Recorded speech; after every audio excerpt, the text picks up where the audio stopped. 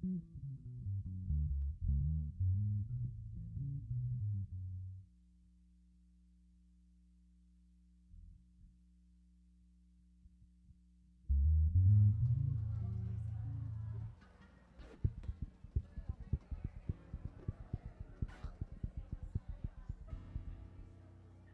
morning, New Life. Good morning. We welcome you all here this morning. Those who are watching online, we ask that you would stand and worship with us.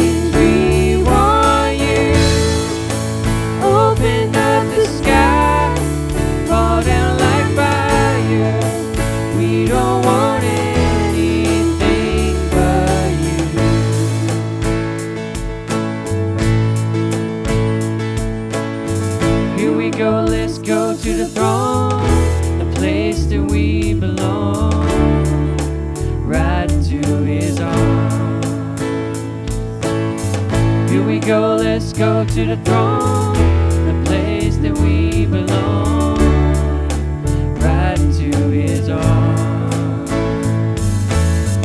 Here we go, let's go to the throne,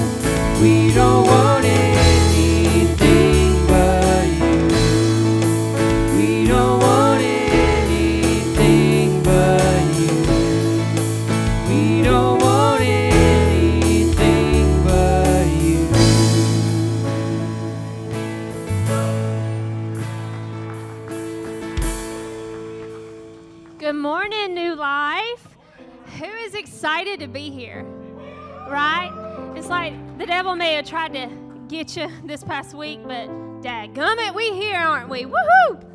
All right, y'all, y'all made it. So woohoo again. You know, made it through the week. All right. So we're really excited to have y'all here.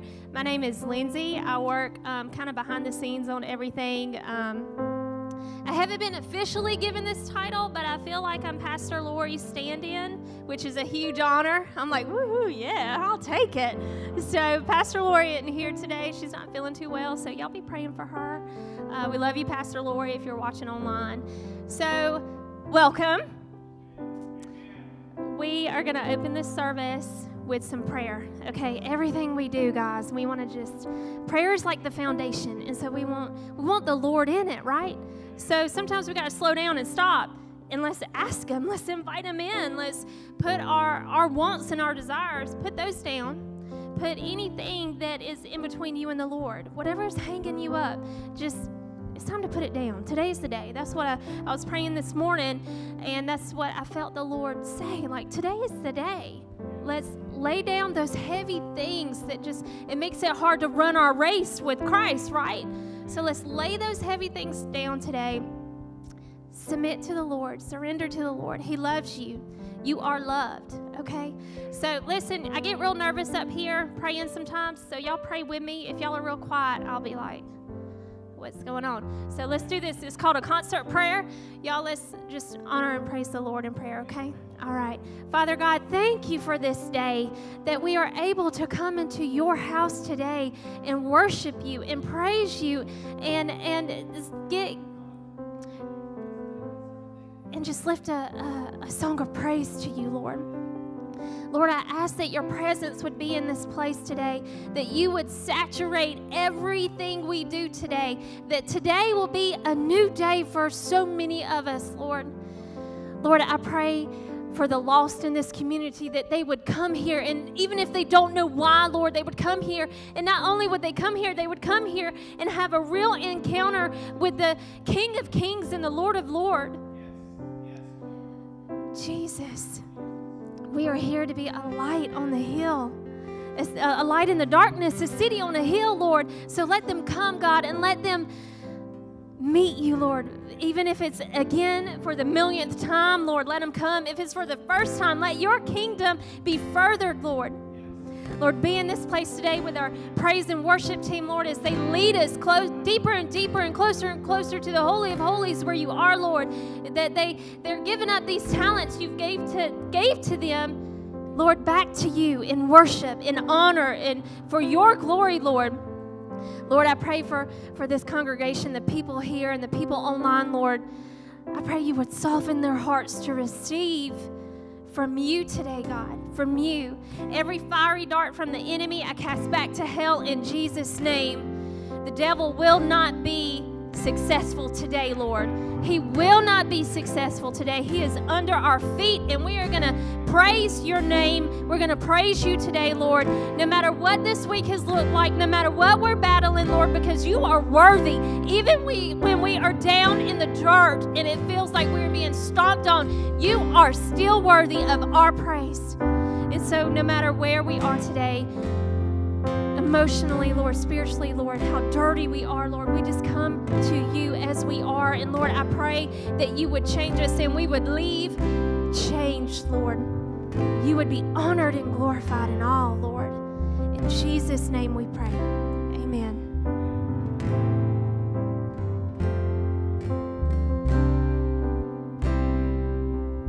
Oh, you called me out of darkness silence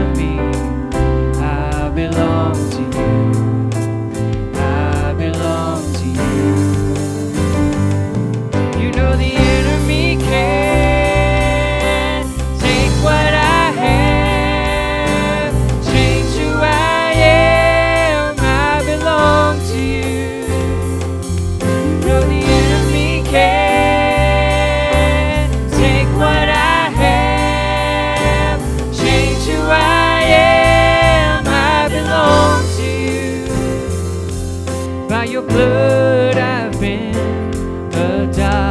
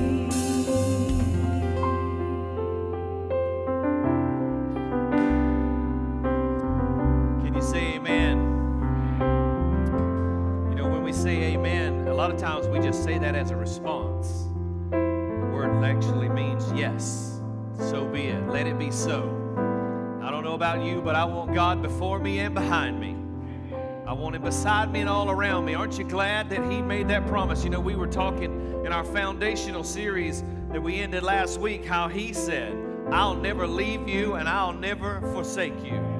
That's not somebody else's promise. That's not just something you read in some fairy tale somewhere. That's what He said.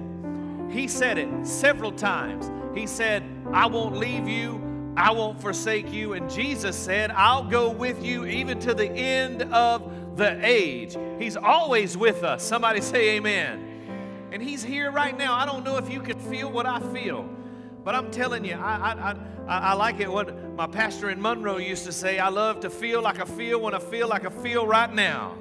Amen when I feel the presence of God in the house. I want to tell you something that happened to me just a second ago, and uh, I don't I don't know if this means anything to you or if you felt what I felt, and if you don't believe this, that's okay, because I'm fine with just being me, right how, how I am with God. Amen.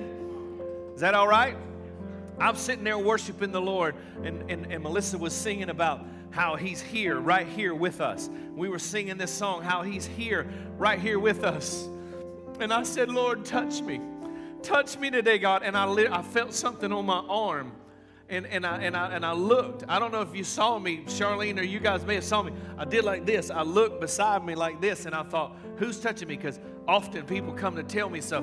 Brother Earl, eh, Papa Earl told me something just a second ago that I needed to take care of and remind me.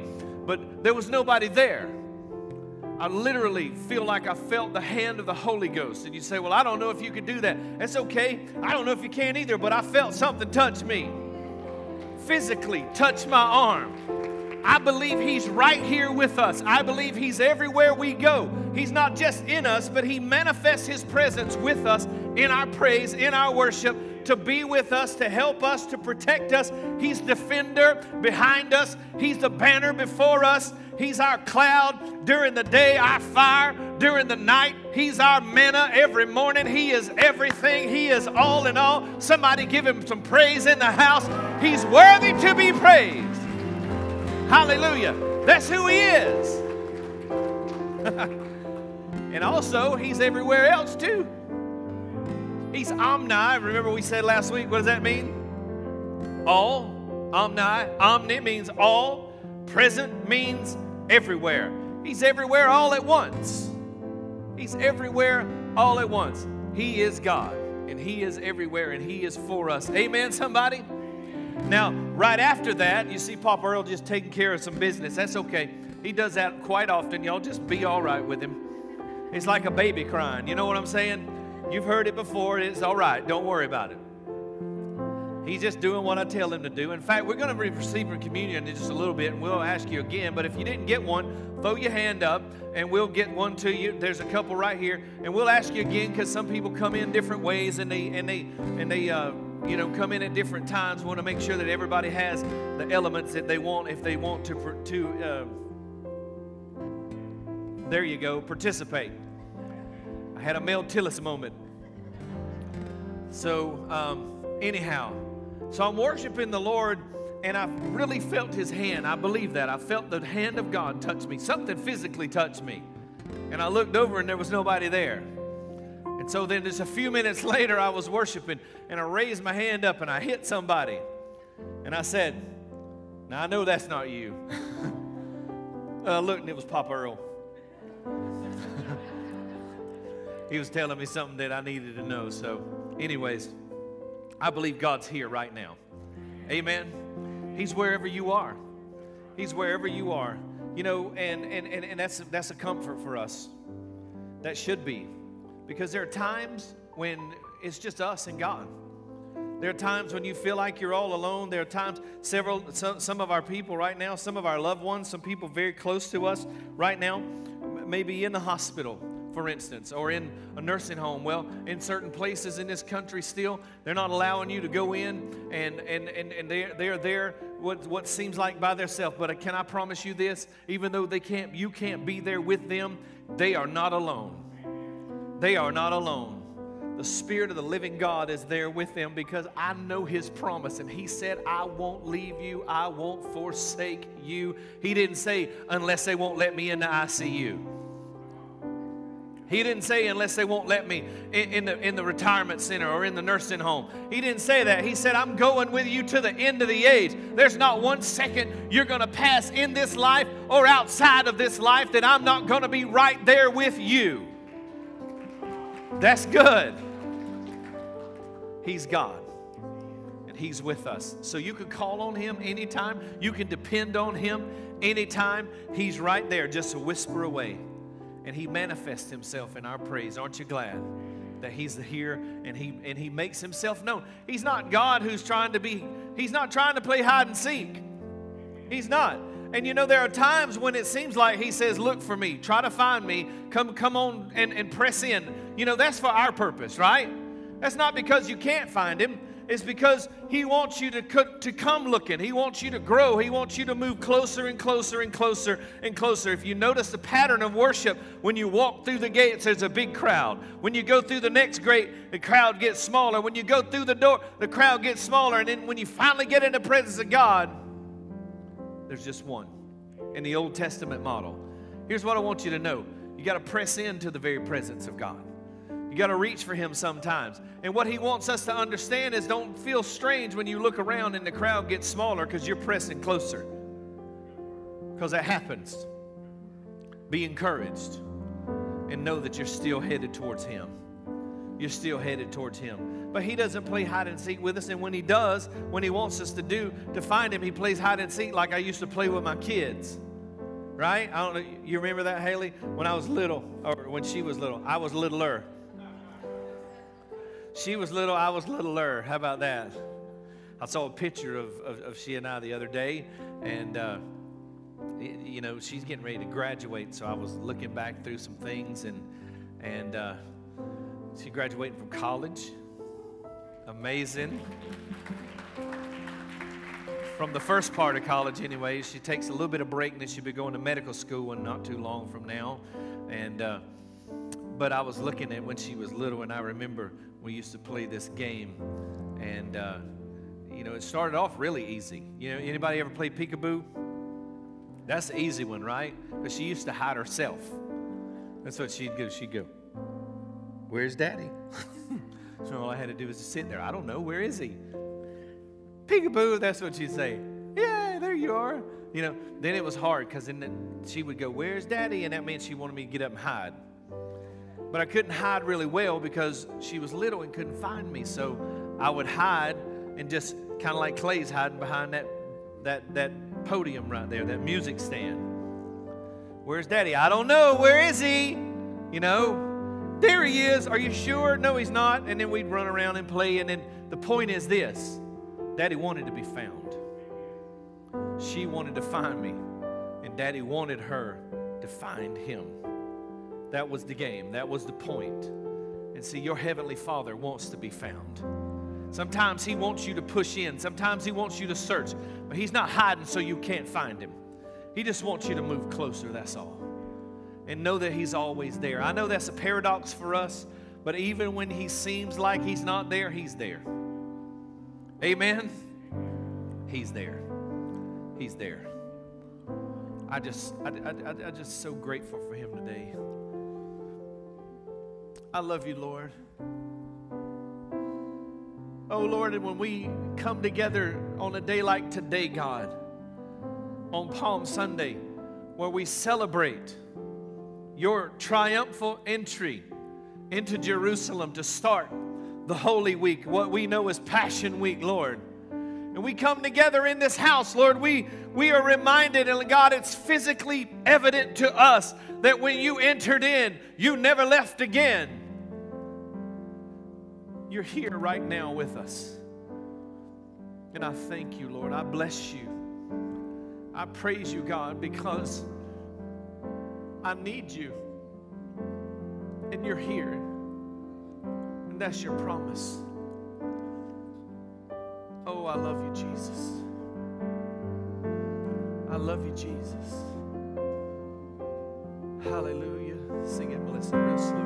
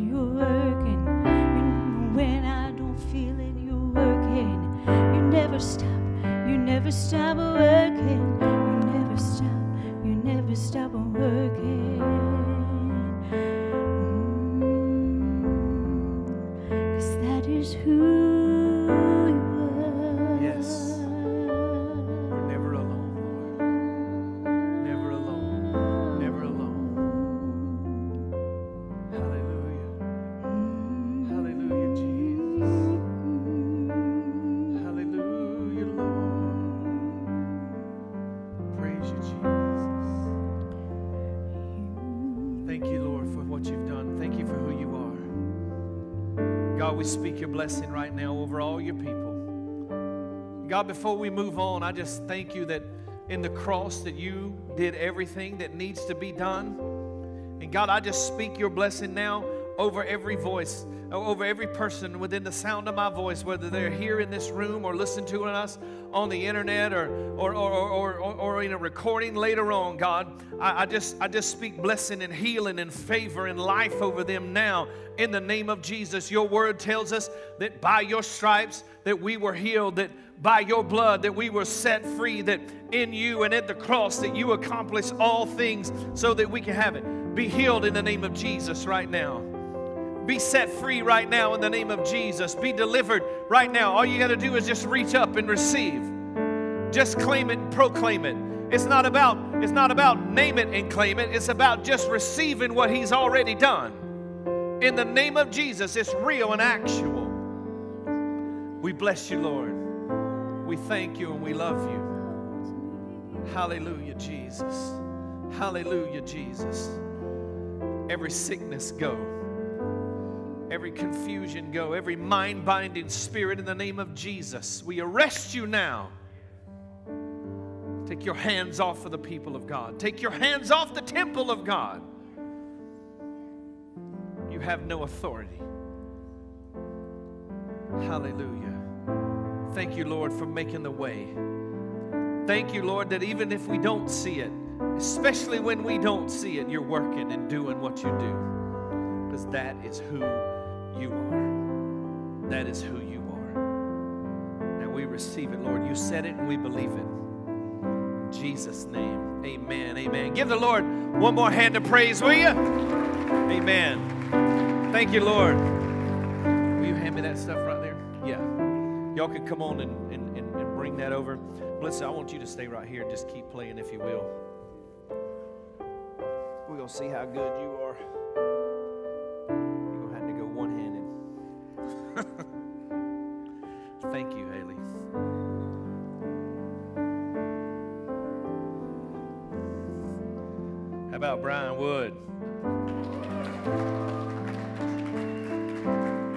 I praise the Lord that we got talented people.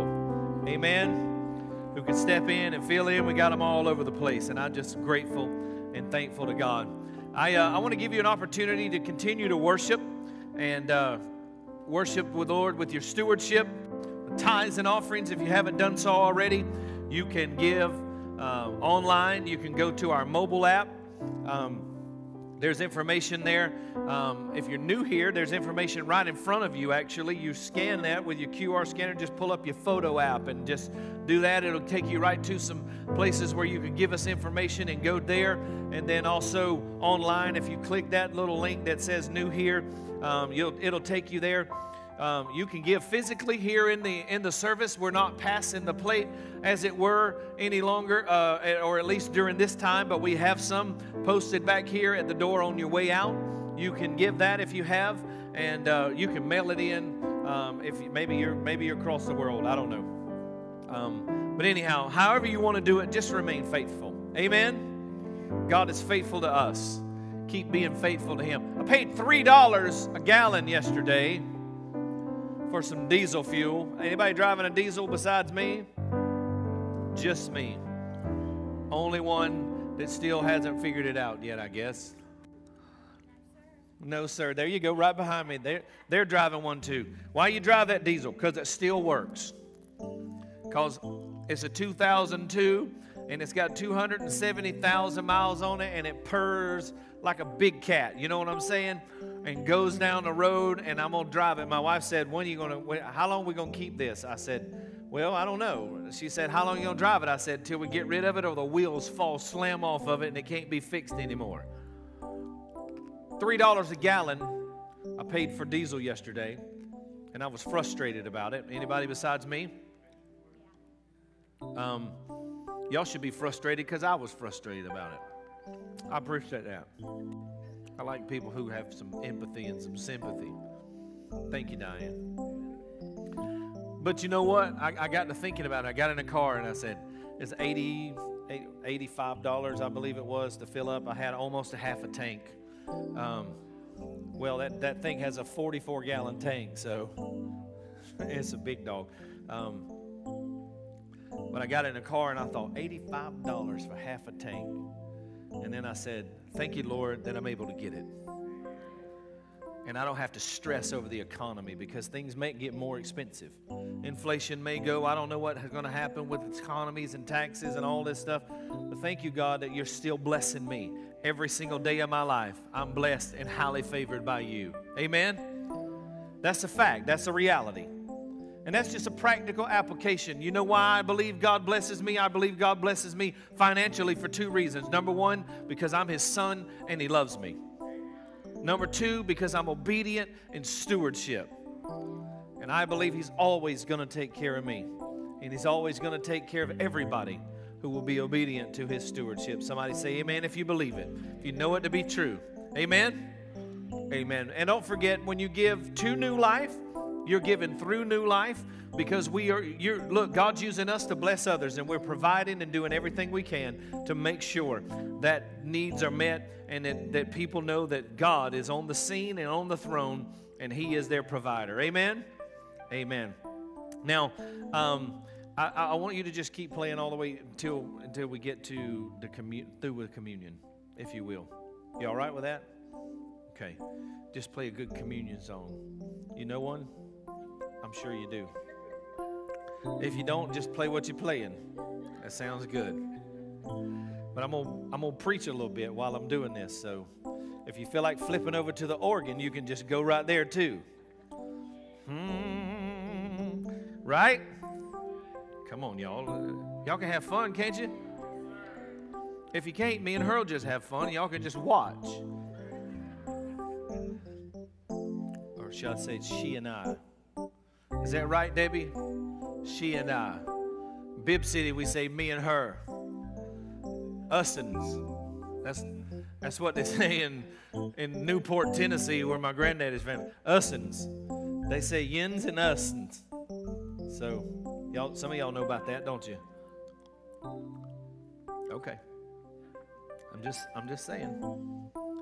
Now listen, we are going to start today a, uh, a new series. And by the way, let me just say this to my beautiful bride who's at home under the weather, not feeling well today.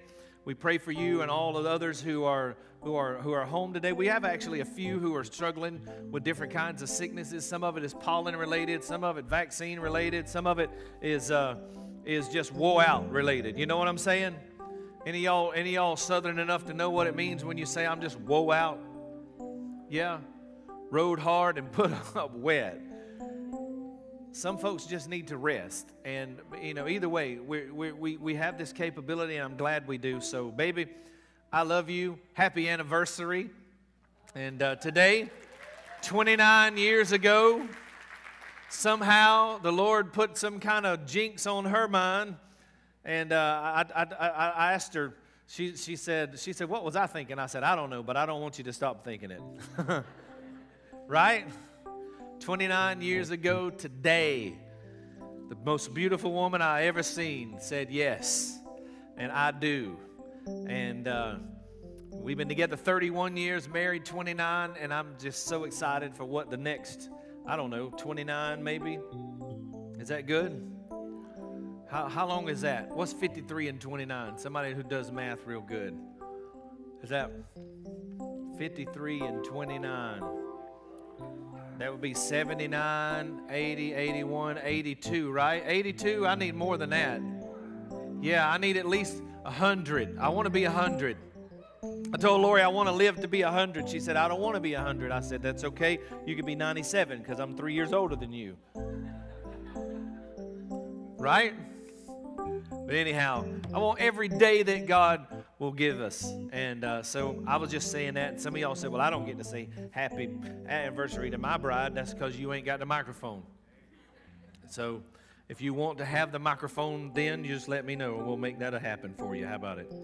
Um, I want you to go ahead and, uh, and get this ready. Uh, because if you're like me, uh, when the time comes, that first little top part there, um, it takes me a little bit. I'm, I'm struggling with it right now. Um, I may have to get my very smart, very talented daughter with fingernails. Oh, I got it. If you have never done this before, if you are at home and you don't have elements, uh, go grab something. If you have bread, grape juice, some kind of something, you can get crackers. Um, you say, well, is it? Can you do that? Let me just tell you something. You know, we have these symbols because you know, the Bible tells us that at Passover, they ate unleavened bread and drank fruit of the fruit of the vine. And we do that. But I want to tell you one of the most powerful communion services I've ever been in in my life. I was in the Philippines uh, just about to preach. A, uh, we, we had been there for several weeks already, and we were just getting ready to go. We were in this neighborhood, and we used to go into the neighborhoods every day before we had um, before we had uh, the, the, the, night services. During the day, we were building a church and then doing some stuff at the, uh, at the school that we helped sponsor there, the pastor training school. And uh, but when during the days after we got done, we would get ready before we go have the crusades, is what they called them, these neighborhood crusades. We would go in there and do what they call reclaim the land. Reclaim the land. And some of y'all say, "Well, I don't believe in that." That's okay. They believe in it, right? You say, "Well, is that real?" It was really real while I was there. And so we went there, and this is what happened. We would gather uh, in that neighborhood, they would walk around and pray all over that neighborhood and let people know there's a crusade coming that night and that there was going to be a missionary or evangelist there to preach and uh, they come learn about Jesus and then bring the kids because there's going to be something fun and we're going to give you some food, right? And, and really, that was, they should lead with that. Come get food and hear about Jesus. Um, but anyways, they would they would do that. So we gather together and we'd get in the circle and they would do what was called reclaiming the land. And so they would have communion. We would have communion we would have prayer and then they would break up the communion and pour it into the ground. And you say well i don't know if that's real. It was just symbolic um, but there was some power in it. I'm telling you there was some authority in it because we seen people ha- ha- just every night saved and delivered and set free this one particular time i'm telling you about they didn't have any unleavened bread. They didn't have any regular bread. They didn't have any any any any cup or or grape juice or any way. So somebody said, well, "What do we have?" And one dude says, "I got a pack of crackers." And another one said, "I got a Pepsi Cola." Right? They had these 32 ounce bottles of Pepsi Cola. How many remember 32 ounce bottles? They had 32 ounce bottle of Pepsi Cola, and we had communion with soda crackers and Pepsi Cola. And you say, well, can you do that? We did. And I'm going to tell you something. God moved right then on that place. In fact, there was a guy there. I'll tell you what happened. There was a guy there who had been following them all around as these students went out and, and were spreading the word, and he'd been mocking them and he was look when you looked at him he was about almost gold color. He was so jaundiced and he was an alcoholic and demon possessed and he was mocking them. And he was mocking us as we prayed and he was mocking as we took communion. And when we got done i'm telling you the holy ghost fell in that circle and two of those students filled with the power of the holy spirit just turned and took off running after that joker. And he took off down through the neighborhood. They chased him up into a house went in there, laid hands on him, cast that devil out of him, brought him to church that night. He got saved and delivered, and I watched his color change from yellow to normal in front of my eyes. And with him, more than 300 people were saved that night. So that's something to praise God about. And I give you that testimony just so you can know that it was all right, apparently, to the Holy Ghost, at least on that day, that we had communion with soda cracker and Pepsi Cola. I'm not telling you to make a mockery of things. I'm not, I'm not telling you to, not to be traditional or not to, to respect the sacraments. What I'm saying is don't get caught up in, in, in so much legalism. It's all about the heart. The Bible says God looks at the heart. Amen? So get it ready. If you're at home, get something ready and, and, and, and, and sanctify it before the Lord. And we're going to worship Him. Amen? Amen, somebody. Come on, say amen. I'm going to preach this thing whether you're with me or not, so you might as well get with me. We're starting this week a new series called The Passion. Seth wanted us to call it The Passion of the Christ. But I told him somebody had already used that one. So we asked Pastor Dustin when he was getting the graphic ready. You got that graphic up there? Yeah, he said, just put real tiny down in the corner just of the Christ. So, but anyways, this is Holy Week. And we are going to start this new series. We're going to look at what took place during the last week of Jesus' life. This week we're going to look at all the way through Thursday. Next week we're going to look at the last three days because the last three days really stand alone. Amen and it's Easter, so why wouldn't we? Right? It's Resurrection Sunday, so why wouldn't we look at that? That's what it's all about. But I want to start today by kind of tying in this message with this foundational series that we did and just moving right in. So, last week we finished up the foundational series by looking at worship and war, abandoning ourselves to God and prayer. And what a powerful message reminder it was to help us see that God is trustworthy, that God loves us and He wants to communicate with us and save us and help us and pour His blessings out on us. And I don't know about you, but man, does that make you feel like it makes me feel to know that God is for me? Well, today is Palm Sunday, as we said, the day where we remember the triumphal entry of Jesus into Jerusalem prior to the Passover week that would forever be known as Holy Week. Many refer to it as the Passion Week. And that's what we're going to be looking at. And we're going to we're going to we're going to take a look at that. And there are reasons that Jesus did what he did. And we're, hopefully when we finish this next little mini series that you're going to understand it better.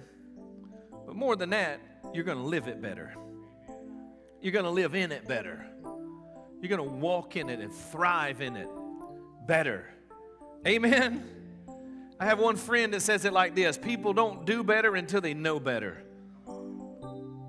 And I believe God wants us to know better so we can walk better. Amen. Now, that's not about what we do, that's about who we are. Amen. If you realize what Jesus did for you and who you are and how you live and walk in that, that's what makes it better. And because we're not going to have our Wednesday service this week, and uh, that's the service that we usually get together and have communion and, and foot washing, and but with some of these restrictions still in place, and I'm going to be making some some announcements about that in just a little bit. Um, we're gonna we're gonna actually just kind of do what we did last year. Last year we didn't have an option. This year we're gonna do it because we're choosing to because some of the restrictions that are still in place. But we're gonna let you have that day with your family and just celebrate it however you feel led of the Spirit of the Lord together as a family. And maybe you might just want to get together with your family and have communion again and time of and, and maybe, you know, do foot washing. I know some people say, Y'all still do foot washing? Yes, we do. And if you've never been part of one, I'm telling you, it's one of the most powerful services, powerful worship experiences that you can be a part of. You say, Well, I don't want to do that. Well, Jesus did it. Well, he did an example. Okay, well, why don't you do it as an example? Your kids need to see you serving and loving and worshiping. Is that all right? Well, we're going to start off today with communion. Now, hopefully, every one of you have your elements by now. And if you didn't, again, just hold up your hand and we'll get into you. In the balcony, y'all good? Let me talk to you a minute about communion. This is kind of a little bit of a continuation from last week, but also heading into this week. 1 Corinthians 11 26. Jesus said, For as often as you eat this bread and drink this cup, you proclaim the Lord's death until he comes.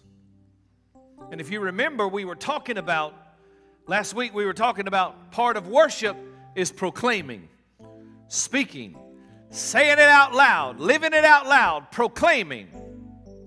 And so Jesus says, You proclaim his death.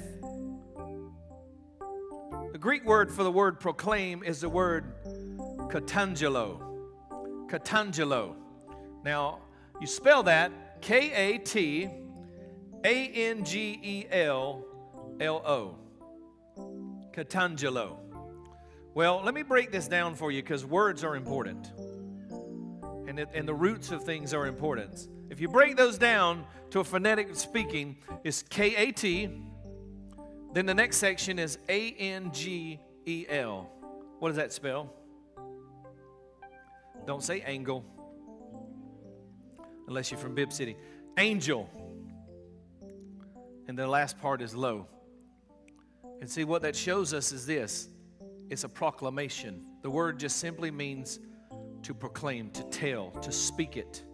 One definition is to herald it. That's why the word angel is in the middle of it, because the angels were the proclaimers, the messengers. And God wants us to proclaim his death until he comes.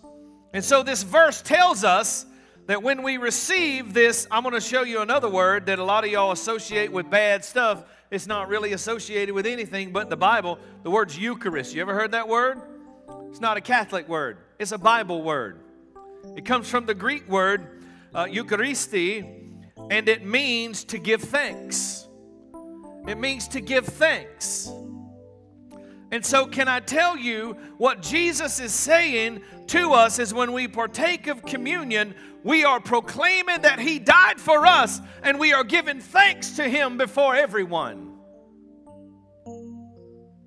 Well, some of you may say, well, why do we do that? Why do we proclaim His death? Why do we give thanks for His death? Because, y'all, if you hadn't figured it yet, figured it out yet, that changed everything. His death changed everything. His death changed all of human history. Because of His death, our sins are forgiven. We can walk boldly into the presence of God. We can live and be the loved and be in His grace and have His blessing. We can be empowered from on high with, with, with power He gave us. We can be the dwelling place of the Holy Spirit because of His death.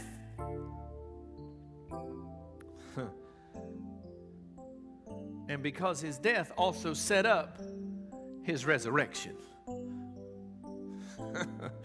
I don't know if y'all getting this. Maybe y'all the pollen got y'all wore out.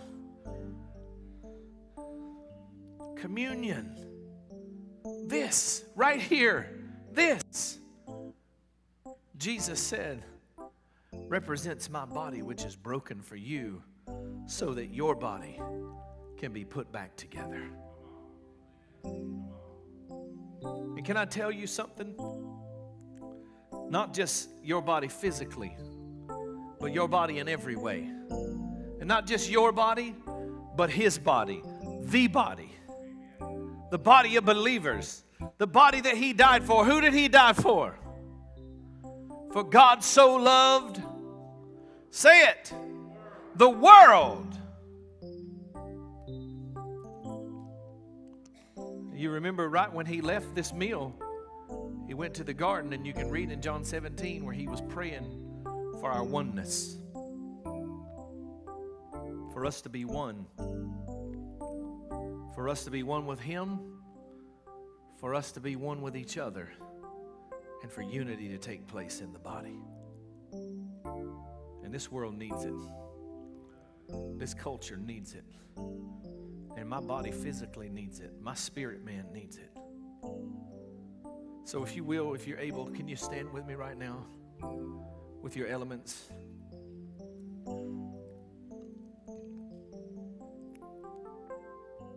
The Bible said he lifted the bread and he said, This is my body that's broken for you. And he blessed it. Let's bless it. Father, thank you that your son Jesus went to the cross for us. Lord, thank you for going to the cross for us. Thank you that by your broken body, by the, you being on the cross, that our sins are forgiven, that we are reconciled to you that we now have the opportunity to be saved and to live with you forever. Restored back to that place that you wanted us to be, that our bodies can be healed, that our minds can be healed, that our spirit mans can be healed and free, that we can be whole in every sense of the word. Bless it now, Lord, as we remember and receive. Amen. You can receive.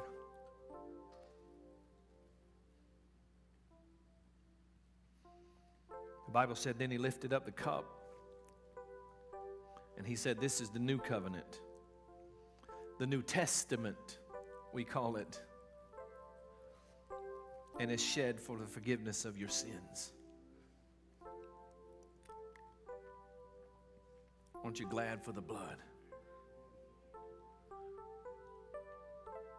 It seems so weird to celebrate someone bleeding. But had it not been for that, but thank you, Jesus. Let us pray. Father, thank you as we receive now this cup, the cup of the new and everlasting covenant. Lord, wash us.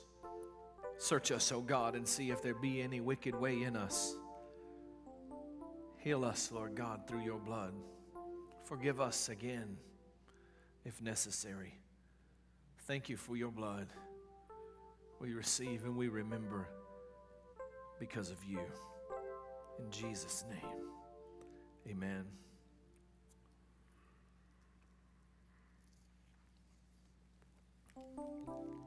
Praise you, Lord. Now, would you just take about 30 seconds or a minute? Would you just silently or out loud? I don't care. Would you just take a second and worship Him? just from your own heart, from your own lips. You and your Father, your Savior, Jesus.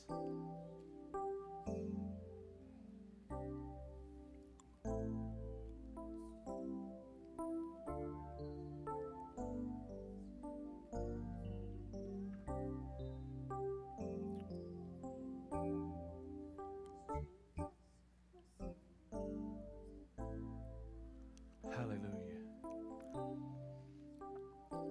Praise you, Jesus. Amen. Amen. As you're being seated right in front of you in the chair right in front of you, there's a little bit of round thing. It, it looks kind of weird, but it's right there, part of the little thing underneath the chair. You can just stick that little cup there, and the ushers will come by after the service and pick it up. Thank you, Melissa. And because you work so hard right now, you don't have to come back no more till next week. Now, let's begin this little mini series. Let me talk about something that's going on in our world today. We just talked about unity and oneness in this, in this communion that we take. And uh, as I was studying this and I was, I was doing some research and I was gleaning from, from different places and even different people, as I often do, this was brought into my remembrance and then also brought into my spirit. The Lord said, I want you to talk about this. You know, there's something going on in our world today, and it's become very political in nature. But I want us to understand that it's not politics and it's not social things, but it has a very spiritual root to it, and it's demonic in nature. Everybody understand what I'm saying to you?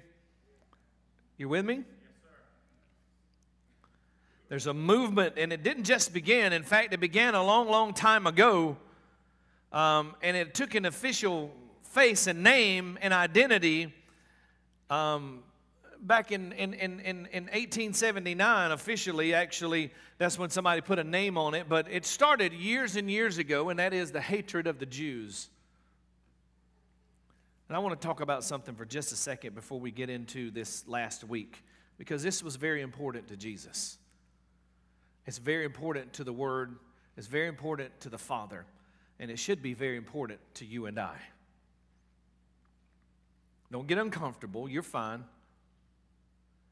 Anti Semitism, bigotry or hatred against the Jews has started raising its ugly head again in a passionate, fiery way. And this is because we're moving at a neck break speed I believe, into the end times. Now, we've been in the end times for more than 2,000 years, but we're getting closer and closer to the very end of this thing. And it's raising its head, and I don't care how you assign blame to it, it all goes to the devil. And believe it or not, the reasoning for this anti Semitism is blamed on the scriptures. Did you know that? The word Semite or Semitism originally referred to the people in the biblical Middle Eastern area who spoke the Semitic languages. That's Hebrew, Arabic, and Aramaic, or the three major ones. There were some others, but those are the three major ones. That's all it meant. That's all that Semite or Semitism meant until the 19th century. Now, don't get me wrong, the people of God have been persecuted. The Jews have been attacked and taken captive and killed and, and, and, and, and, and, and all of that all throughout their history. And there are many different reasons for that. But in 1879, a German journalist wrote an article on how the Germans were a superior race and how the Jews were an inferior race, 1879. Does that idea sound familiar to anyone? Then he founded what was called the League for Anti Semitism. And at that point, Semitism began to refer strictly to the Jews, not just the people that spoke Semitic languages. And so you say, well, okay, let's blame the Germans. But while that will be easy to do, especially since Hitler and Nazi Germany and World War II and all the things that have followed that, it's actually started long before that. And sadly enough, do you know one of the biggest propagators? Now, get comfortable. Don't start ducking on me. But do you know one of the biggest proponents of anti Semitism has been the church? Sadly, it has. People who called themselves Christians. Amazingly enough, and, and you may be heartbroken to find out that, see, this all ties in because this is Holy Week. This begins Holy Week. But one of the worst times, especially during the Middle Ages and, and just shortly after that, to be a Jew and be alive on this planet was during Holy Week because people who called themselves Christians would put crosses on their chests and raid Jewish villages and communities and pillage and kill and rape their women and take their children, all in the name of Christ, and say, This is because of what you did to our Lord.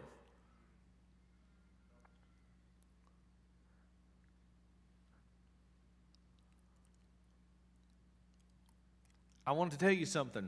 Some of you may be surprised to know, or maybe you know, but you need to remember that the first church was made up of all Jews. Well, no, no, no, that was the Old Testament. No, it was the church. And by the way, your Savior is a Jew.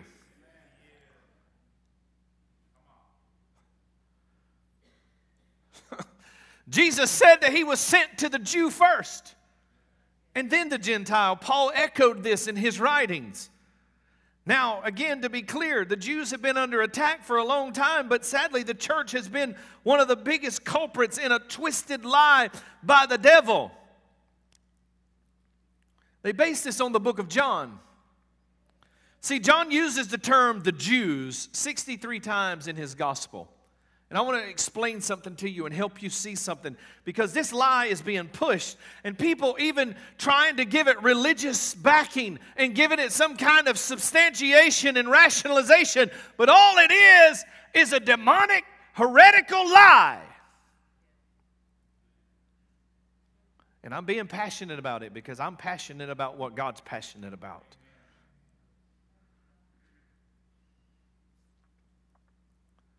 See, Matthew, Mark, and Luke only use the term the Jews or the term Jews about six times each in their Gospels.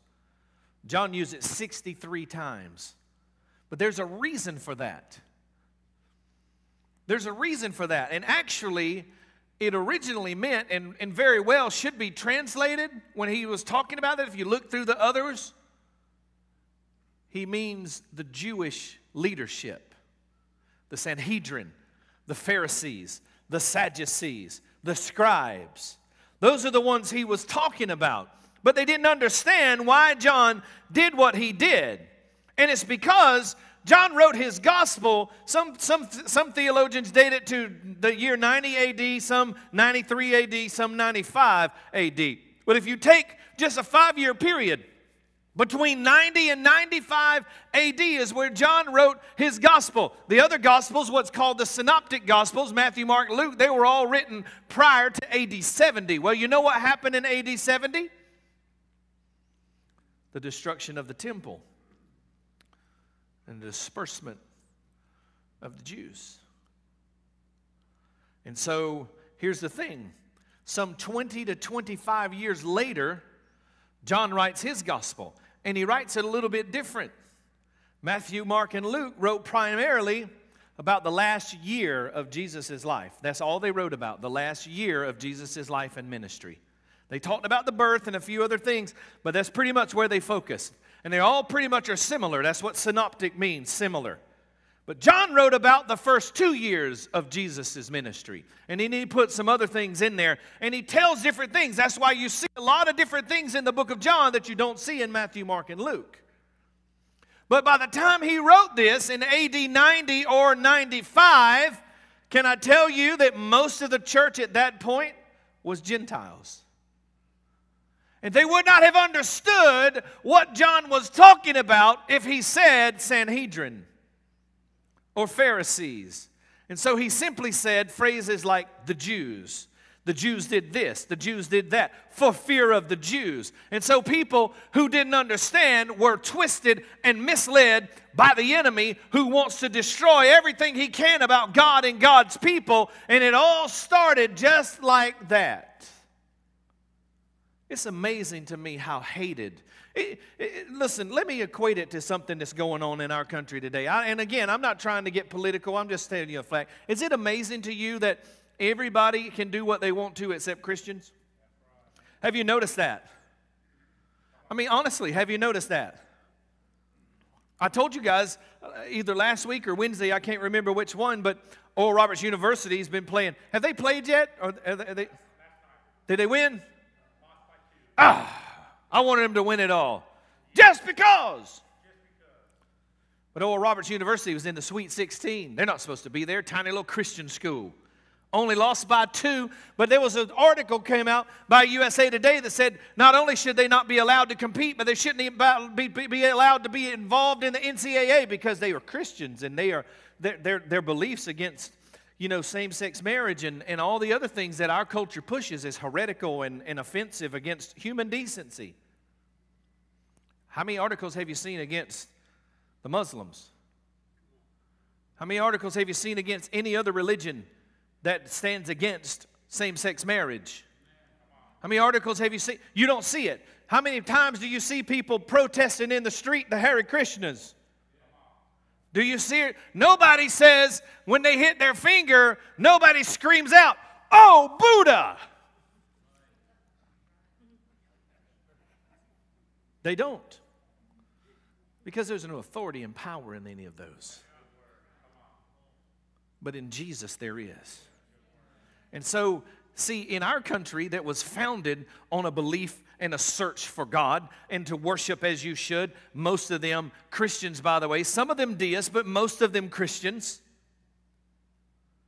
it's become very unpopular to be Christian. Very unpopular to be Christian. And we can relate to that, most of us. And so you relate that to the Jews and realize why is it that everybody hates the Jews so much? Can't be just because they got diamonds over there.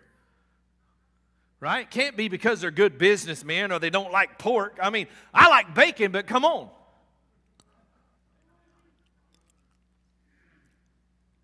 You know why. You know why. And so John simply says this, and people get twisted about it.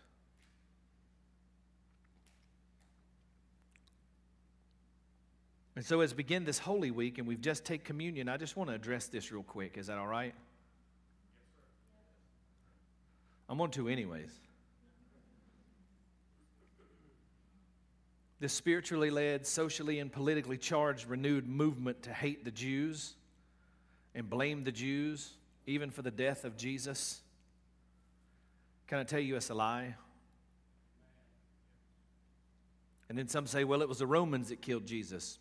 They didn't kill him either. Some say, nope, it was my sin. I'm the one that killed Jesus. That ain't true either. Can I tell you who put Jesus on the cross? Jesus put Jesus on the cross. Jesus said, Nobody takes my life but I lay it down. It was His plan from the beginning, His will from the beginning. so we could go through this week, so we could see what happens when they take the life of the Savior. But He said, I'm not staying here. If the devil would have known, the Bible says, he would have never done it. But he executed the greatest plan of God, and by his death and resurrection on the cross and from the grave, we have life eternal and redemption. That's what put Jesus on the cross. So, can I tell you, Christians, the church is not anti Semitic. New life, we're not anti Semitic. You want to argue about that? Come see me.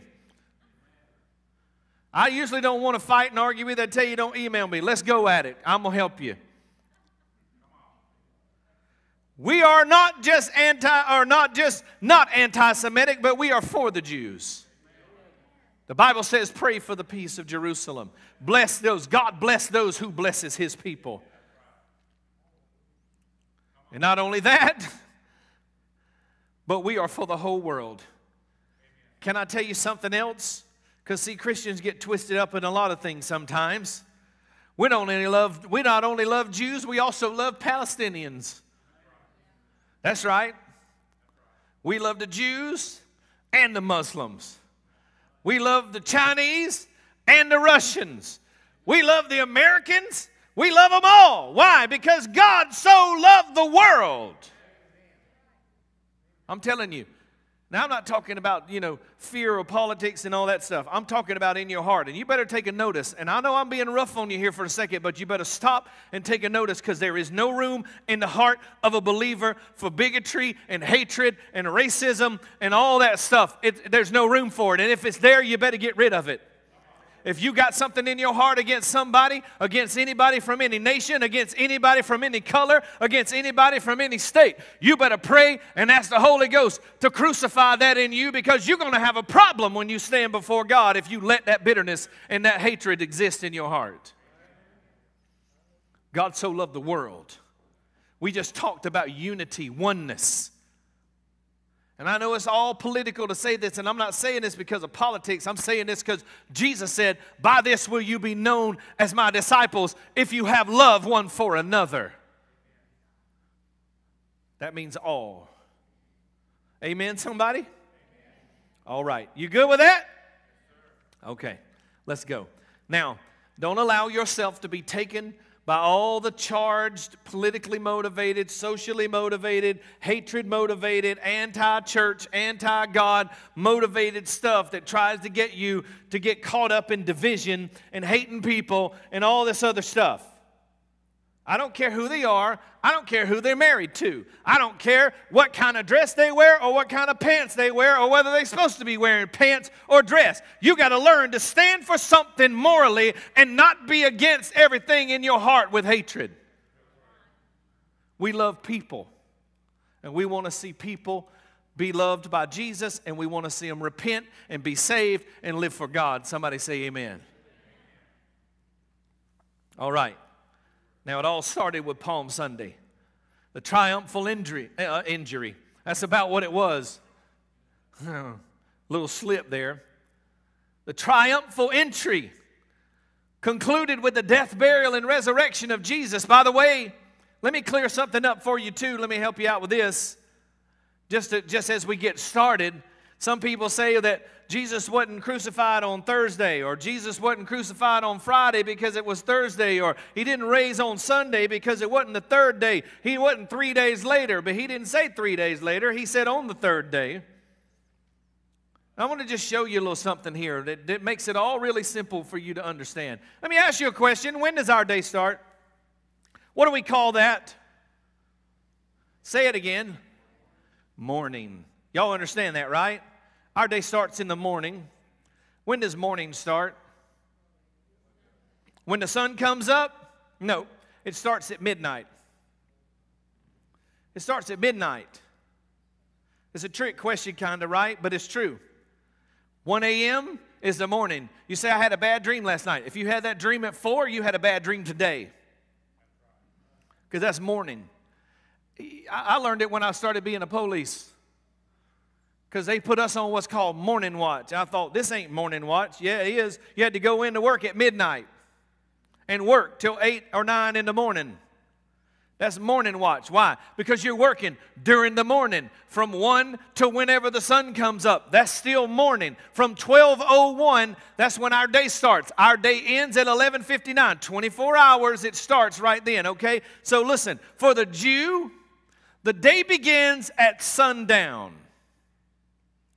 Not at midnight or not the next day. The day begins at sundown. That's why Passover begins at sundown. From sundown to the next sundown is a full day for them. So, although the Bible will show us that Jesus went into the upper room and started having Passover on Thursday evening because it was evening and the sun had gone down, it was actually Friday. Friday had already started. Does that make sense to you? Now, some people still want to debate it, but we don't have to. So here's the thing. The Bible even tells us in Genesis chapter 1, verse 5, this is where they get that. The evening and the morning were one day. It continues. If you look in chapter 3, chapter 5, chapter 8, it's evening, morning, evening, morning, evening, morning. And people say, well, he wasn't talking about a literal day. He was talking about a reference. Okay, right. I'm not going to argue that with you, but either way, he made the reference. Evening, morning. That's where it came from. All right? You good there? So the reason that he had this Passover meal on the day that he had is because it was Passover. All right? So we're actually going to go all the way back to the Friday before, which is seven days before the Passover. Now, I'm going to just go through some things for the rest of this message about what Jesus did on these days, and I'm going to point out a few things, and I'm going to let the Holy Spirit just kind of point out some things to you. And when you get done, you might say, Well, He didn't give us point one, point two. I don't see an outline. There's nothing in the event section. That's because God rearranged all this stuff on me at the last minute, or maybe I rearranged it because I wasn't listening to Him good enough to start off with. But either way, I didn't have time to get the outline back together. You would have been confused, trust me. More than you probably are, normally. But it's okay. Look, if you want an outline, I'll bring it to you. Dustin and them have some of the out, some of the points and, uh, and, and some of the some of the scriptures there that you'll be able to follow along. And and so what I want to do is we're going to look at from Friday till Thursday, and then we'll look at Thursday, Friday, or, or Friday, Saturday, Sunday next week on Easter because those three days really just stand alone. All right? I want you to think about this question. If you knew you had one week to live, what would you do? If you knew, I got one week, this is it, what would you do? Well, here's the thing Jesus knew he had one week. He knew it. He knew what was coming. He knew he had one week. And so the things that he did are important to us. Because what he did was everything that he could do, everything that needed to be done from then to the time that he died. So let's take a look at them. And, and, and like I said, some of them I'm just going to be naming, some of them I'm going to be talking about a little bit. Some of them you're going to have to just glean, let the Holy Spirit going to drop something in your spirit about. But I believe by going through these and looking at these, and then next week will be totally different, but by looking at these and the way we're going to do it, that you're going to see some real truths and some very important things about this last week of Jesus' life, this Passion Week. If nothing else, you'll just know it better. How about that? But I believe it's going to be better than that.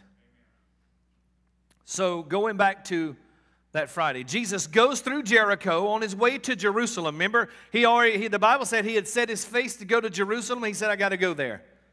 And so he goes through Jericho on Friday and he heals blind Bartimaeus. Uh, isn't it amazing that the first thing Jesus did in this holy week was open some eyes? Open some eyes. And isn't it amazing what happens when Jesus really touches our heart, when Jesus really reveals himself to us? It opens our eyes. Okay, that'll, that'll hit you on the way home. You'll be eating on a, biting down on a chicken leg. Be like, I just got that. That was good. And the chicken ain't bad either. Then he goes to eat at the house of a very, very, very short man. Zacchaeus, y'all remember him? He was a wee little man. There you go. I heard you singing that. I knew you'd be the first one. She's been teaching kids for 173 years.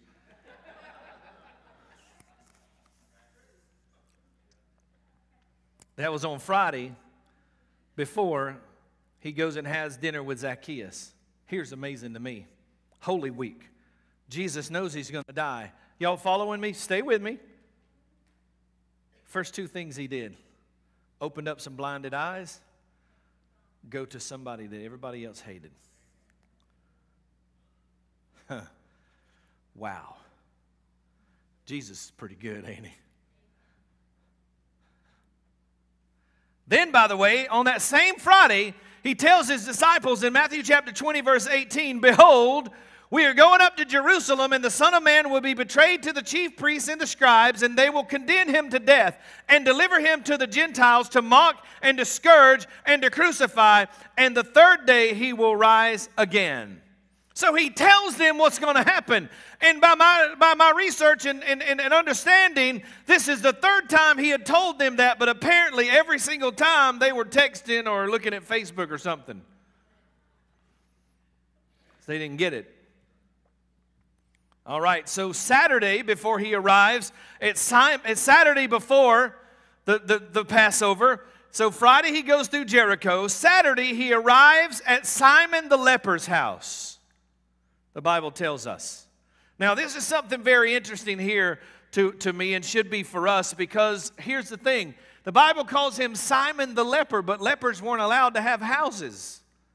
Lepers didn't have houses. They weren't allowed to associate with people. In fact, they had to stay far away, and if anybody came near them, they had to scream, unclean, unclean. So a lot of people believe, and I happen to believe too, that they call him Simon the leper because it's very possible, but he was one of the lepers that Jesus healed. So not only did he open some eyes and then go to somebody that everybody else hated, he was that right where with the people nobody was supposed to touch. Mm. Uh. Hallelujah. I was once one of those people that everybody hated and nobody was supposed to touch. Nobody wanted to get around. But I'm glad it didn't bother him. So he has dinner at Simon's house, and this was in Bethany. John chapter 12, verse 1 tells us that it was six days before the Passover that he entered Bethany. Matthew and Mark tell us that it was at Simon's house. So that was Saturday, and then Sunday, Five days before he makes his triumphant entry into Jerusalem on Palm Sunday, the day we celebrate today. This is not five days before he, he made it, it's five days. When I say so many days before, I'm saying that's the days before the Passover, okay? So, five days before the Passover, he makes his triumphal entry into Jerusalem. And this is where they wave palm branches, right? And this is where they sang to him, Hosanna, Hosanna. Let me read it to you. It's right here in the scripture. Um, in, in the Bible, it says that they, they, they cried out to him, Hosanna! Blessed is he who comes in the name of the Lord, the King of Israel.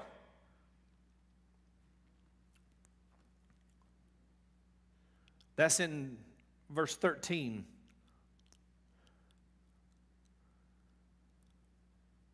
He comes into Jerusalem and they're waving palm branches and worshiping. But let me show you something really unique. I heard one preacher say it like this, and it struck me so profoundly. And I want to share this with you today. He said, when they, when Jesus was being whom they wanted him to be, they gave him palms. When he was being whom they needed him to be, they gave him thorns. Huh. Many of the same people who were crying, Hosanna, were crying, Crucify. And so I want to ask you this question How many times in our lives, when Jesus is being whom we want him to be, he's blessing us, he's giving us favor, he's providing, we're having happy times. When we come to church and we wave palm branches and we say, Blessed be the one who comes in the name of the Lord. But then just a week later, when He's being who we need Him to be. And he's bringing us through something or out of something or taking something out of us. And he's maybe even using a trial or a hardship. And all we want to do is give him thorns. Man, I don't know if you know how good that is. You need to let that sink in. I'm going to just kind of let that marinate with you right there. So Sunday was also when he wept over Jerusalem and he said, How often would I gather you together as babe chicks, as a mother gathered her chicks? This is when he told them, You've missed your visitation. What a sad time. So all that happened on Sunday. Monday, four days before the Passover, he goes back into Jerusalem and he cleanses the temple for the second time. See, here's the thing a lot of people don't realize that he cleansed the temple twice. He cleansed the temple in John chapter 2 when he went to Passover for the first time, and now he cleanses the temple again when he goes to Passover for the last time. And see, this time, this is what was happening. Man, you got to stay here and you got to get this. I'm telling you, this is so rich. Just looking at what Jesus did, it preaches itself. I don't even have to bring it out, but I'm going to try to give you a little something so you know that, I, that God's using me at least, okay? I did study a tiny bit. But Jesus goes, and why did he cleanse it? Why did he make a rope and do the things he did? Because here's what they were doing they were required to come worship. And what God said was worship was you bring the worship, you bring the animal, you bring what's required. But they were taking shortcuts. They didn't bring the animal. They would go there and buy the animal, and they were being sold animals that weren't worthy of the sacrifice in the first place, and they were being overcharged for it. You ever eat at Six Flags? Or in an airport? You ever wondered, uh, do y'all go to McDonald's? Because they don't charge what y'all charging. Anyways, here's the thing they were taking shortcuts to worship, thinking they were going to get in the presence of God. And He cleaned it out. He said, That ain't who we are. That ain't who we're going to be. This ain't what God made, and this ain't what God accepts. And I'm telling you, you can do a lot of things if you want to, but you better not take shortcuts in worship. You better not take shortcuts in sacrifice. You don't take shortcuts when God says, worship me this way. Even when you worship with finances and stewardship, when you worship with gifts and offerings, when you worship with talents, when you worship with your songs, when you worship anyway, you only get into the presence of God by true worship from a true heart. And that's why we work so hard around here. And that's why the people that are called and anointed to do it sacrifice time, sacrifice talents. They do it unthankfully many times, but they do it to lead us in worship and to lead worship for Him. See, the devil was the worshiper and he knows how to steal it, he knows how to cheat it. And this is what it was they were taking shortcuts in their worship. And God said, I'm not going to have it. You can't get in the throne in the presence of God with shortcuts.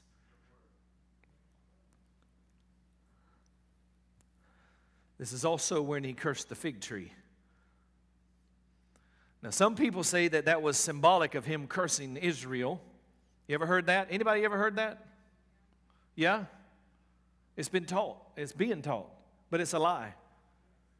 Nowhere in the Bible does it ever say God cursed Israel. You're not going to see it. Let me tell you what he was doing. Let me tell you why he cursed that fig tree. Man, this is another one that's just going to, I'm not telling you, triumphal entry is good, but this is wearing me out in some ways. I don't know about you, but I'm like, okay, God, I see what you're doing. You're making me go higher. Remember what I told you about foundational, about thriving. God is taking us higher and higher and higher. And sometimes we got to get lower to get higher. But here's what he did He cursed that fig tree because that fig tree had leaves on it. It wasn't the right season, but it had leaves on it. So when the tree had leaves on it, that told the people it had fruit on it. And so when he got over there, it didn't have any fruit. So he cursed it. And it was he did it for the disciples and for us, but it was just it was a point. The point he was making is he don't like hypocrites. He ain't going to bless them he ain't going to accept them. Now he loves them. But you showing leaves? Hear me. You showing leaves that say I got fruit, but you ain't got no fruit. I don't know any plainer way to put that. That's what he was doing. now you cross reference that and see if I'm not telling you the truth. So that's Monday. Now on Tuesday, he spends nearly all day teaching in the temple. You may be surprised to find out that most all of the parables that Jesus taught were taught in one day in the temple, and that was this Tuesday. A lot of us read through them and we think, well, that was all during the three years. Nope. Most all of it was right there on that day on Tuesday. Go back and read it. You see, he knew he only had three days left to live, and he was in overdrive now. Matthew chapters, he write this down. Listen, I don't know if you have this up here, but, but maybe you just throw it up there if you can. I don't know. If you're a note taker, write this down. Make notes. Matthew's chapters 21 through 26. Mark chapters 11 through 14. And Luke chapters 19 through 22. All of it was taught on that day at the temple. That's Matthew chapters 21 through 26, Mark 11 through 14, and Luke 19 through 22, all taught that day at the temple. Very, very important stuff. I've said this before, like when Jesus goes into the upper room with the disciples and he starts pouring out things to them. Here's the thing I really don't want to die. Anybody in here excited about death? I'm not afraid of it. I know what's going to happen. I got Jesus. I'm excited about going to heaven. I actually preached a message a long time ago when I was a youth pastor. It was called Everybody Wants to Go to Heaven, but Nobody Wants to Die. See, God gave us this birth in us, this, this, this passion for life. I crave lungs. My lungs crave air. You know what I'm saying? I want to be alive. I don't want to die. I, I just prefer we all just get raptured out of here. But if I do, I'll tell you how I want to go.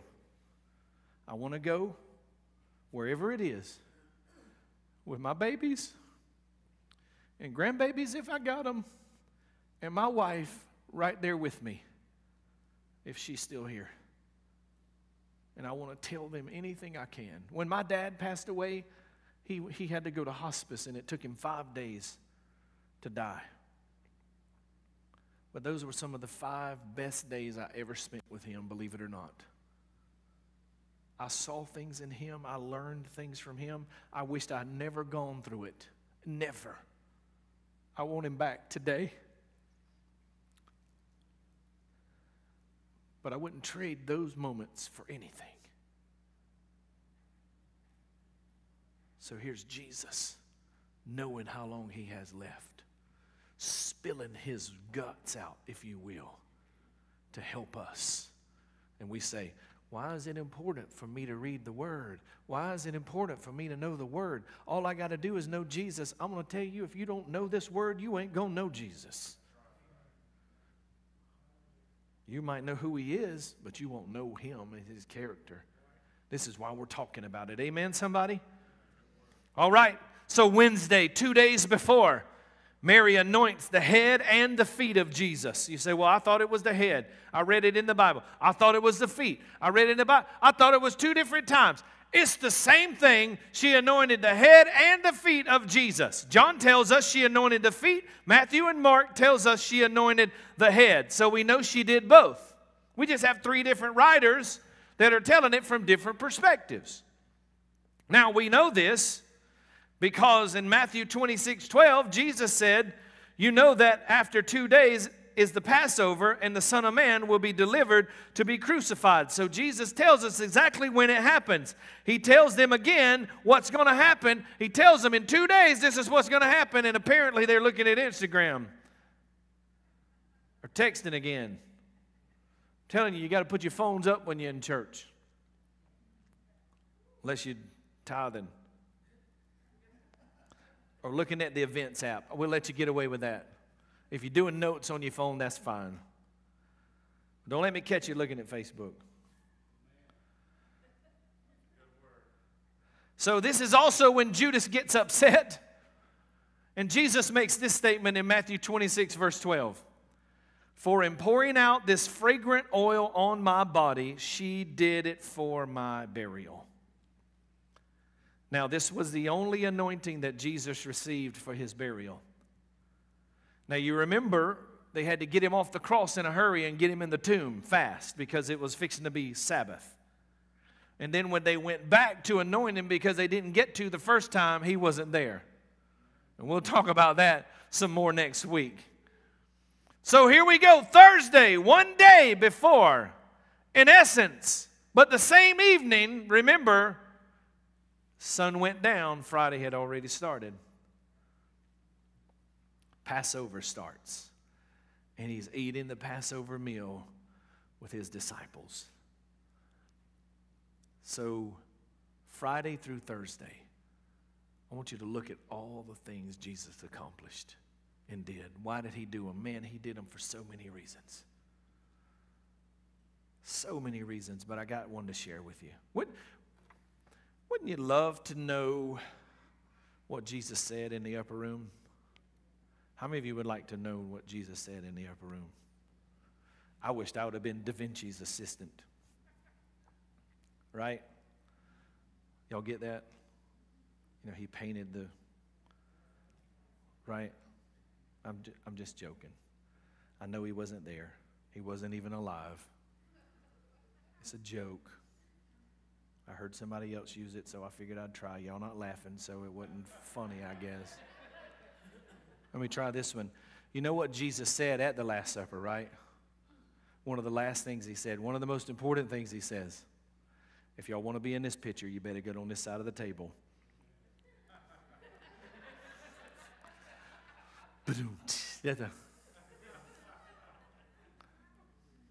Thank you. I'll be here all week.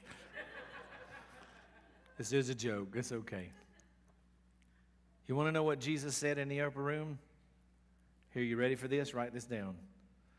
John chapter 14, 15, 16, and 17.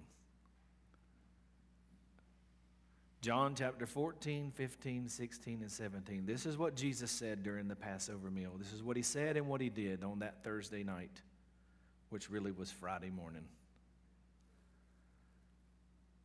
And he said this, and he, he, he talked some about the second coming, but he also talked some about him coming back just three days later. You remember we talked about this last Easter?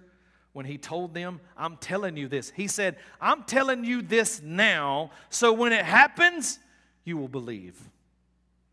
And he's also saying this about the second coming as well. And can I tell you this? Believe, he's coming again. He's coming again. He's alive right now. We're, we're going to celebrate that next week. We can celebrate it every day. Every day is Resurrection Day. Amen? He's alive, seated at the right hand of the Father. One of these days, the Father's going to look over. He's going to say, Gabriel, start the show, son. And Gabriel's going to put that trumpet to his lips. I heard one pastor say, I believe he's warming up the mouthpiece right now, getting ready. And, and listen, he's going to blow that trumpet. And the Bible says Jesus is going to step out on them eastern clouds and the dead in Christ will rise, and then those of us that remain will be caught up to meet with him in the air, and so shall we ever be with him. Can I tell you something that when he comes on that day, nobody's going to have a hard time believing it? But he said right there in that room, I'm telling you all of this. You want to know why it's important to know what he did? You want to know why I took this time now, about 40, 43 minutes? I know y'all think I preach forever, but I really don't. It just takes me a while to get there. You want to know why we're doing this and talking about what we're doing? You want to know why we said it's not good to hate the Jews and we need to love people and get all this bitterness and stuff out of your heart? Because Jesus wants us to know it so people can see us living it so they can believe like we believe because that's the only thing that's going to help. I'm telling you this so you will believe. That's the point of it all. That's why he did what he did. That's why he lived how he lived. That's why he died the way he died so we can believe. Amen. Amen. And I want to tell you today if you don't believe, you need to find a place where you can. You need to, you need to find a place because can I tell you this? As excited as I am about standing before Jesus and seeing Him face to face, if you stand before Him that day and you're not saved and you don't have Jesus in your heart, and you can be smug and you can think you're smart and you can think you know everything because many just like you have gone on before, but I've seen a lot of people leave this world and I've never seen anybody die a true atheist. You stand before Jesus and you don't have Him in your heart and you're not saved, it's not going to go well. It's not going to be good. Can I, can I tell you something? Just as real as heaven is, so is hell. So is hell. And there's a real hell to shun, and there's a real eternity that is awful. And so Jesus has given us opportunities right now at least cry out and say, Lord, help me. I don't believe, God. I'm, I'm arrogant, God. I'm frustrated, God. I'm, I'm prideful, God. I'm, I think I know everything, God. I haven't been taught, God. I, I just can't see it, God. Whatever the case is, if it's real, help my unbelief. Show me. And he'll do with you just like he's been doing for many, many, many, many, many, many millions and billions of others throughout time. He will show himself real to you.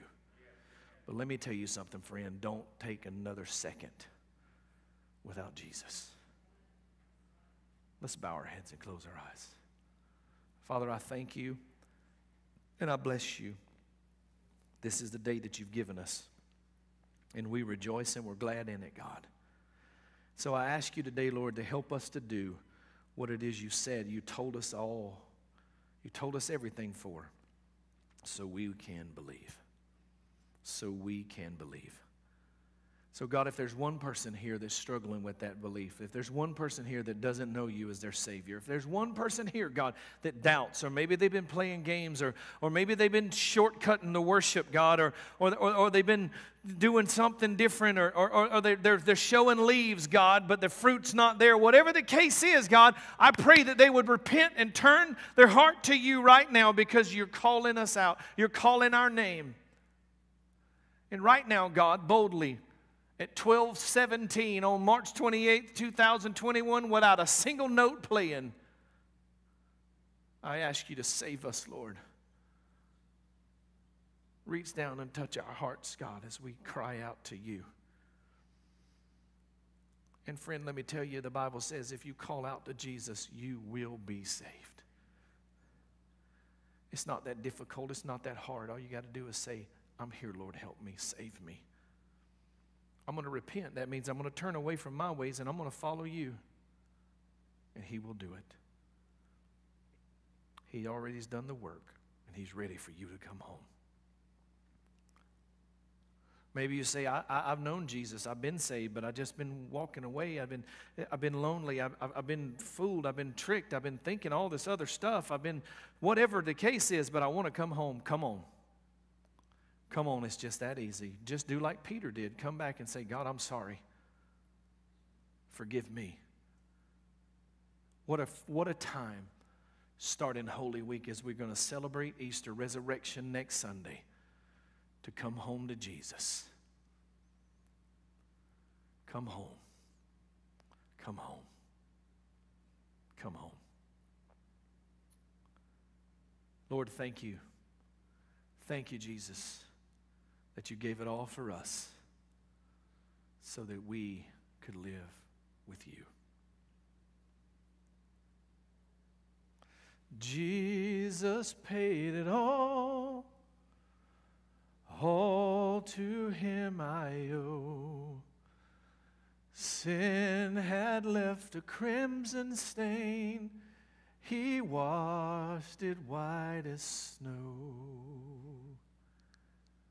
If that's you and you're glad of it, say amen. Amen. amen. God bless you. I love you. Listen, if you prayed that prayer maybe for the first time or you came back home today, I want you to click that link if you're out there in the internet. If you're here, share it with somebody. Come let me know. We want to celebrate with you. If, if, if, listen, if you don't have a place to be next week, I want you to come worship with us. Now, let me give you a quick little update on where we are. COVID is being changed uh, uh, in, in several different ways. Um, CDC recommendations are now three feet for social distancing. And so we are going to make a few changes. Everybody, stick your arm out in front of you. Okay, that's about three feet. That means you're not going to touch the person in front of you. And when they're standing up, you're not going to touch them either. Y'all don't understand. I said out, not over. Just like a kid. Just like a, just like, I, all right, I'm sorry. So here's what we're going to do we're going to keep two chairs in between each family, but we're going to start going to every row instead of every other row. All right? Starting next week. Now, right over in this section, if we can, and we'll, we'll move it to somewhere else if we need to, we're going to have a safer zone. We're going to be safe everywhere, but we'll have a safer zone. So if you still feel like you need a little extra space, we're going to put you right over here and you're just fine. Come on. If you want to wear your mask, as always, just like we've been from the beginning, wear a mask, be safe. If you don't, don't be safe. Amen? And we're going to keep worshiping God. We're going to keep moving. We'll announce some other changes. They're going to be coming soon. I'm ready to start praying for somebody. I miss laying hands on people and giving some hugs. If somebody asked me about the vaccine. Is the vaccine out there? Yes. Do you want it? If you want it, get it. If you need it, get it. I, you know, when they say, well, what about all this? What about all that? I, I don't know. I don't know. I, I, I trust God, I, but you know what? I go to the doctor when I can't see. I got these glasses right here because if I take them off, I can't read nothing. And I like reading and I like driving still. I don't want them taking my driver's license away. All right. I know there's a lot of different debates out there. I'm not going to get into all that. I'm just saying, but between so many people and vaccinations and all the things that are happening with immunity and stuff, I'm ready for this thing to get gone. Amen, somebody? And so this is what we're going to do. We're going to move to this next week.